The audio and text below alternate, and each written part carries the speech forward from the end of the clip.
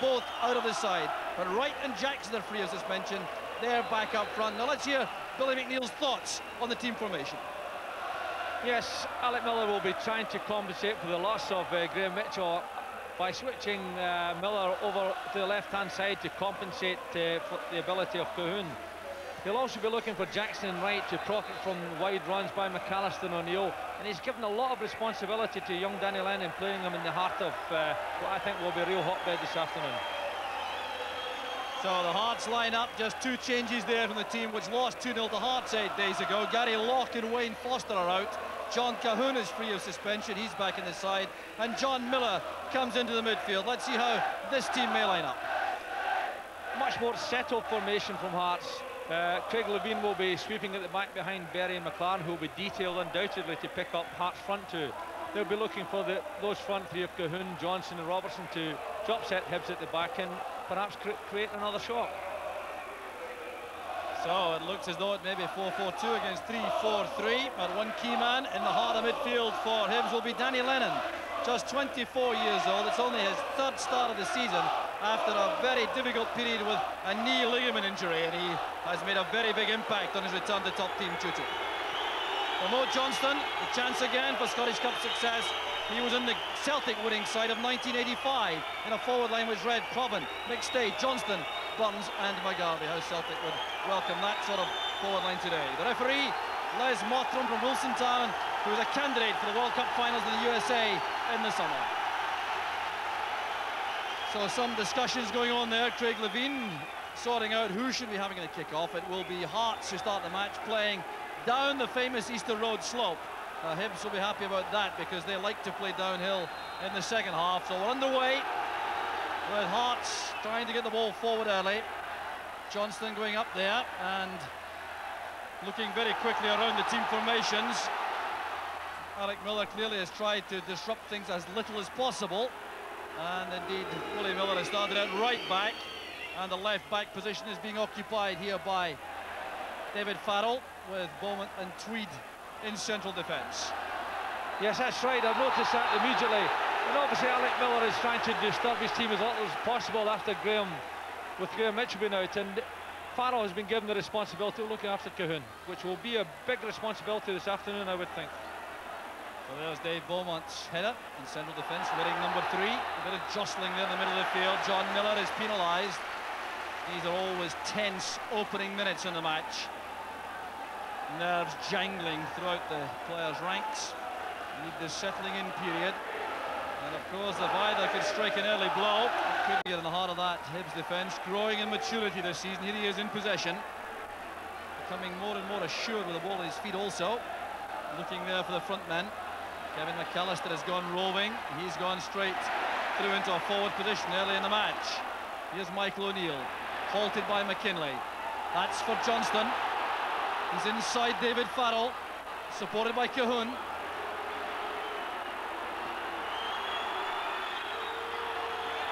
And Colquhoun now hustled by two players. He still gets the cross in. Here comes McKinlay. Fine play by McKinlay. And the opening goal for Hearts is scored by John Robertson. Two and a half minutes on the clock. And the hammer of Hibs does it again. A brilliant finish here by John Robertson. It's his ninth goal of the season. It's a lovely piece of skill by Tosh McKinlay there. Look at that, there's John Robertson in position to do what he does well and really Hibs should know about his ability to score. He's done it so often against him, but it's all a lot of it's down to John Colquhoun here. Puts in a nice ball at the back post. In comes Tosh McKinlay. Gets to that byline. There it is in net. What a wonderful start for Hearts. Well, what a facer that is for him so early in the match. Already concerned, no doubt, about the jinx factor of playing. Hearts, 20 times they've played in the last five years without success against their city rivals. And now they have the worst possible start to contend with. And I reckon that Alec Miller in the dugout may well be concerned about the fact that Graham Mitchell was missing because that goal created an area which Graham Mitchell would normally have dominated.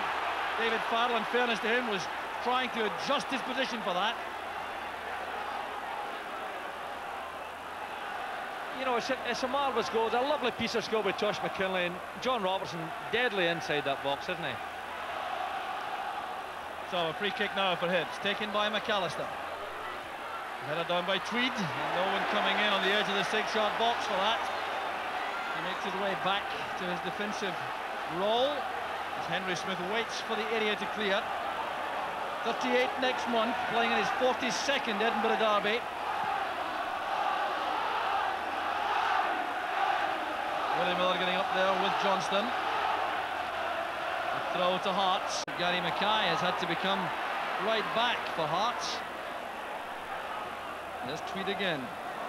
Trying to knock that beyond the Hearts defence. McKinlay. There's Colquhoun.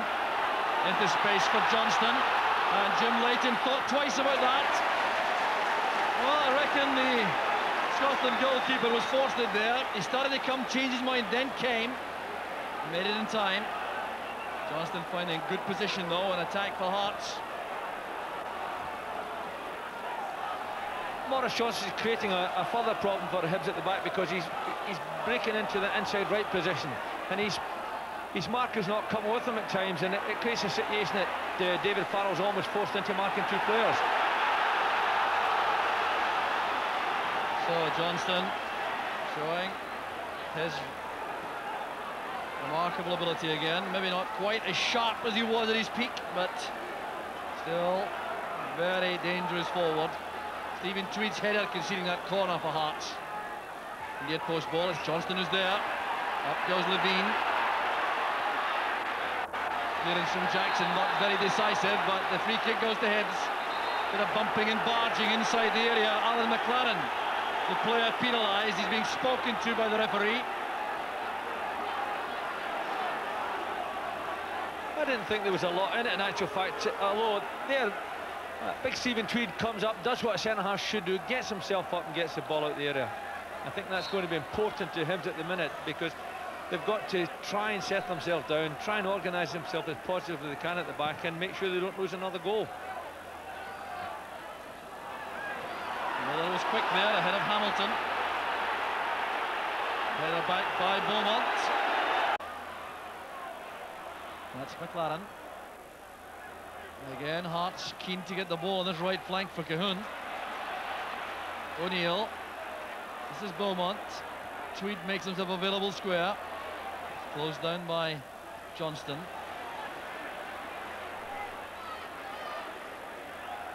Ball still in play there for Willie Miller. Bringing up the line for Wright.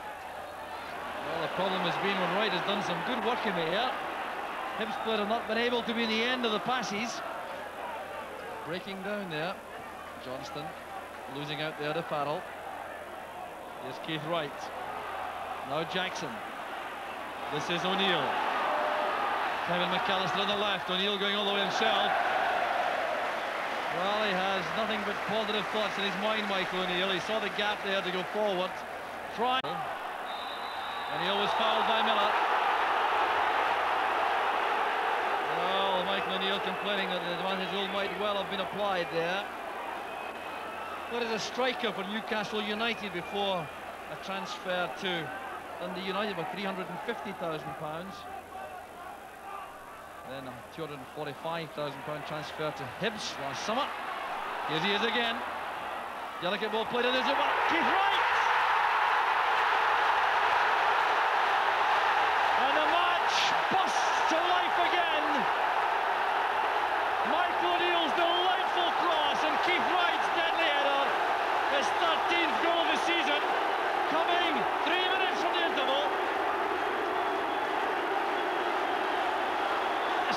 Delightful goal, beautiful ball into the middle from Michael O'Neill. What a terrific header from Keith Wright. That's exactly what he loves doing and look at this ball, it's a real quality ball in behind the defenders, eliminating the central defenders, maybe a wee bit loose marking, but good header, good good finish. Well, a great finish there by Keith Wright, who scored in the league match for Hibs at Tynecastle recently. A very similar header it was. It's his 13th goal of the season. Hibs' biggest signing, £500,000 from Dundee. Justifying that once again. Here's John Colquhoun now, making for the byline. Well claimed by Leighton. Well, the goal could scarcely have come at a better time for Hibs. Michael O'Neill so much involved in the last 10 minutes or so, playing in that delightful chip. The marking certainly wasn't good enough from the Hearts' point of view, but Keith Wright took full advantage. And it's a major boost to Hibs before the interval. Well, these matches sometimes criticised for not providing too many goals. Alec Miller with more instructions there for his players. But in cup ties since the war, the fewest goals in any Edinburgh derby has been three. There has been a 4-3 win for Hibs in 1958, 5-0 to Hearts in 55. So goals are plenty in the cup, if not in the league. So Jackson and McLaren tangle as McAllister goes through. Top the post and scrambled away by Levein. Hibs couldn't have come closer. While the referee's attention was drawn to a clash between Jackson and McLaren, there was Kevin McAllister, it's off the post. Now Keith Wright was waiting. Craig Levein almost scored himself. Yes, astonishing the way the game has changed because Hearts at the back. Look, Shambles just after that goal and almost lost the lead, almost lost the the early goal that they lost there. They scored there. It's amazing how much they have been upset at this. But uh, you know, this, this, is an interesting scenario because Darren Jackson might find himself in real difficult trouble here. But it's a yellow card for both of them, and I don't think either can complain about it. Well, a nasty little clash there picked up by the referee, but while that was going on, Hibs almost took the lead. Their supporters have come to life below us here, sensing the prospect of victory. Goes Tweed, well beaten by Levein. An acrobatic clearance by Johnston. He's involved again, found speed in. This is McAllister, now operating on the right. Keith Wright helps it on, it's Craig Levein again to the rescue for the Hearts. Now O'Neill. And Hibs have stepped up a gear here, looking for a lead before half-time. They have another corner kick. We've had 45 minutes in the first half. We're into stoppage time now, and Hibs are trying to take full advantage. Here's O'Neill's corner. Stephen Tweed challenging. Levein did extremely well against him. This is McAllister. Has to be careful about offside. O'Neill is all right. Well, that's good play by O'Neill. Swept away well by Miller. He could so easily have made a mistake there and come that towards his own goal. It's Colquhoun. It's hectic action now. Down goes Barry Lennon. The tackle by Miller. Attention required for Lennon. Certainly justified that there is additional time added on in the first half. This game has certainly exploded into life there and know, John Miller makes a, a reckless lunge there, and when you consider what players have been booked for already, he may consider himself just a little bit fortunate there. But certainly the last four or five minutes, Hibs have created more than they, they, they, had done up to then. Hearts had looked so comfortable, that early goal had put them commandingly in front, and all of a sudden the game has turned on its head, and, and Hibs looked the most likely side. Well, Keith Wright has provided equaliser, which has given so much hope to the legions of Hibs fans here. So it's Michael O'Neill over this free kick with a minute and a half of additional time. Headed on there by Berry. Cross goes Stephen Tweed. Tackled by McLaren. Then by McKinlay. There's Lennon again. And another clash. It's Danny Lennon who's gone down. John Robertson, the culprit. Oh, the referee giving the free kick to Hearts, it would appear. And he's not happy about Stuart Collie's arrival on the field to look after Lennon again.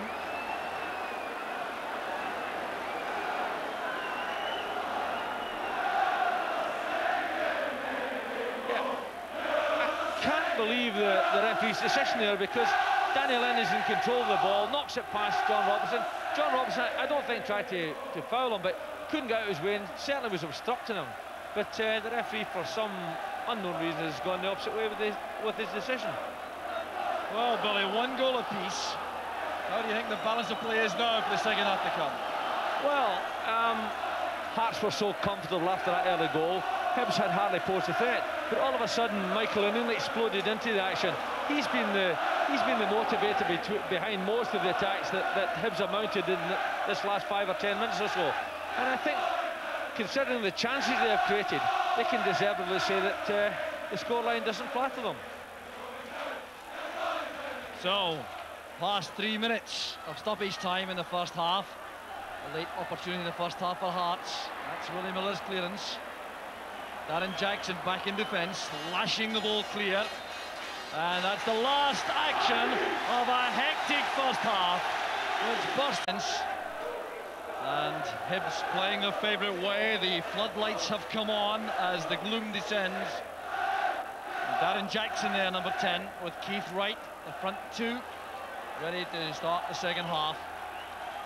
So the Tennents Scottish Cup fourth round tie, the Edinburgh Derby, goes into the second half. And Hibs undoubtedly with renewed hope in the light of that good finish the first half. Hearts will be anxious to settle quickly, get back to the pattern of play which was so successful for them for so long in the first half. There's Kevin McAllister battling back well on the left opening the second half in the same position as he occupied for the bulk of the first half, wide in the left. An area where Hibs won, Hearts won. Been that way since the 42nd minute of the match. Berry's clearance, Hamilton to Miller. Well, that's good play by Miller. Now Lennon, nimble play also back here with Beaumont. Not the kind of service Kevin McAllister likes, especially against Jim Weir, who's such a good central defender. Here's Foster, using his pace, a chance to win the game for Hearts. He's done it! It's Wayne Foster's first goal of the season, and it surely won the tie for Hearts. Right out of the blue, sheer joy for these Hearts supporters. And Sandy Clark on now, four minutes left, he says. Concentration required. And Wayne Foster is being booked for going to the Hearts supporters. But what a good finish this was. Well, this is exactly why Sandy brought him on. His pace is always a threat at the back, but his composure's good there as well because he takes his time. He knows exactly where Jim Leighton is. Here we see the initial pass, which splits the Hearts defence, uh, the Hibs defence, uh, just for about the first time this half, and there he is, he takes it well, steadies himself and places it past Jim Leighton. Crucial time to score a goal. Well now, can Hibs come back? Wayne Foster, what a time to score his first goal of the season. Looks all set to win this Edinburgh Derby, the cup tie. The quarter-final place beckoning, and Foster has turned out to be the super sub. The noise you hear now coming from Hearts supporters. Just tweet on to O'Neill and the referee has given a free kick for offside against Hearts. And Hibs will be certainly very concerned that one simple ball through the middle should have opened them up like that. Perhaps a lapse in concentration. But they may well have to suffer dearly for it. And the irony also is the fact that the goal for Hearts comes at a stage when Hibs have been doing so well. Alec Miller checking his watch, realising that time is running out rapidly. Michael O'Neill's header, led away by Craig Levein.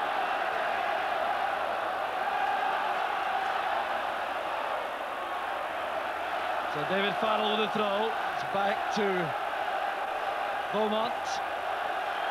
Header by Mackay. Well won by Hamilton. There's Evans. McKinlay's clearance. David Farrell climbing there to win that. And Jim Weir thumps that ball into the enclosure. The Hibs supporters are totally stunned. It looks like game number 21 without a win against their deadly rivals. Well, that tells the story, that picture of the Hibs supporters. A second half which Hibs have largely dominated, But the result of all that is they've got a goal behind. Can they save the game? Here's Kevin McAllister. Queuing up in the middle, and still at 1-1 kindly. Michael O'Neill couldn't get on the end of that. Stephen Tweed and Keith Wright were challenging for the initial ball. It's a, a good ball into the middle here, but there we see the real scramble for the ball, and big Stephen Tweed should have got a better connection there, I think, because he had the opportunity to put it between the posts here, just doesn't quite get up, doesn't jump his height, doesn't direct his header. We're into stoppage time now at the end of the game. It looks as though Hearts are through the quarter-final. Unless we're in for a remarkable finish. They won't, that's it! The referee ends the match! Wayne Foster goes to the Hearts supporters again. Having been booked already, that would be foolish. Greeted by John Toon. The Hearts supporters celebrate. The jinx for Hibs continues. They just can't seem to find a way to beat Hearts in these derby matches. And having dominated the second half, Wayne Foster pops up with a deadly finish four minutes from the end.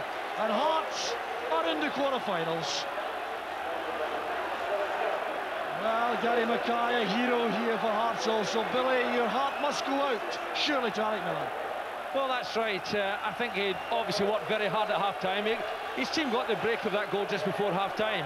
He worked hard at, at half-time, got his team organised, got them playing the way he wanted to play, and then he sees, it, he sees the tie disappear in the last couple of minutes. That little lack of concentration at a crucial time. You've always got to watch your defenders, keep them on their toes, Wayne Foster's pace. You've got to say to Sandy Clark, great substitution, Sandy. You took a chance, it was a brave decision, but it came for you.